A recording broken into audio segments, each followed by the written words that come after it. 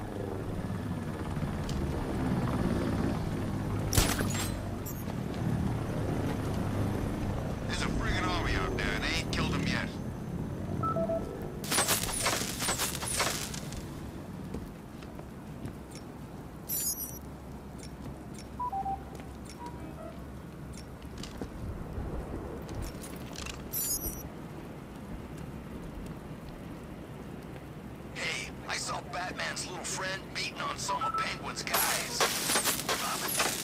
Nah, the other one. Uh, Batwing? Oh, Nightwing. That kid will beat the crap out of you, okay? But he's just not as scary as the Bat.